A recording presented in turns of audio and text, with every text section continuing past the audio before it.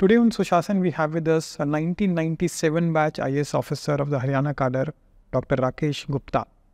He's somebody whom I and many of us as Samagra have had an opportunity to work very closely with for many years, and that's really shaped our own thinking about how to create large scale impact through the governance process. Firstly, I would say to have a shared vision. So, the problem with many of our programs is when we start delivering it, we think that it is a program of a particular minister or a particular officer. I think that is something which should not be happening.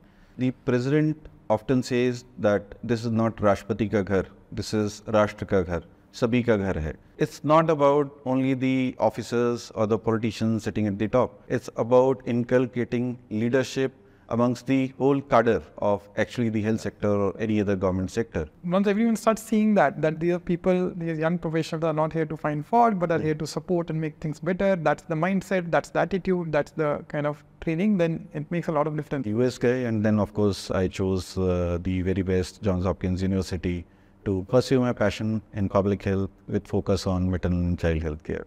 We uh, would actually encourage some decoy customer to actually strike a deal.